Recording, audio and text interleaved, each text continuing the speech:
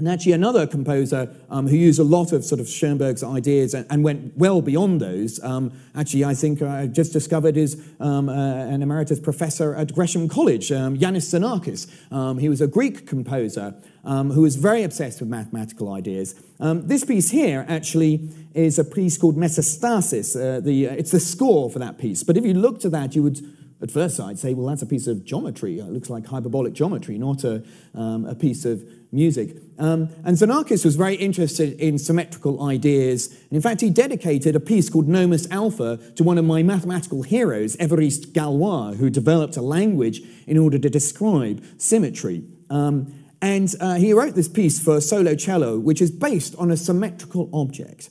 Um, now, it's a three dimensional symmetrical object, and I'm intrigued to see what symmetrical object um, is going to be conjured up in your mind's eye by the following piece of music.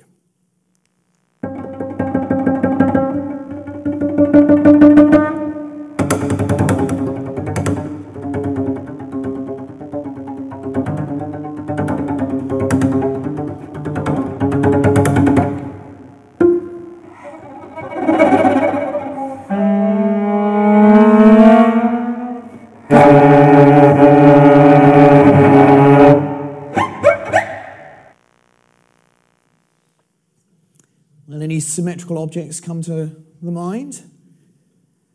Uh, that was, in fact, a cube, but even when I'm told that that's a cube, I find it quite hard to hear where that cube is hiding inside that piece of music. Um, uh, but actually, it's probably uh, uh a little bit of a cheat because I probably need to play you um, uh, the whole piece because the way Xenakis used the cube is to do a kind of theme and variations. Um, so what he did was to put uh, musical ideas that the cello can play. So you heard them already at work there, things like the pizzicato or the glissandi or turning the bow upside down and hitting the strings with the wooden side.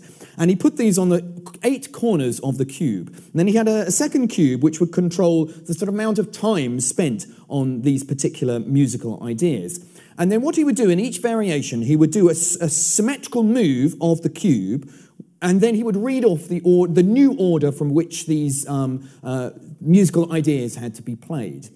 And so, actually, the constraints of the symmetries of the cube are constraining the way that the cello is working its way through um, these different ideas. And then, inside that frame, he would then be creative.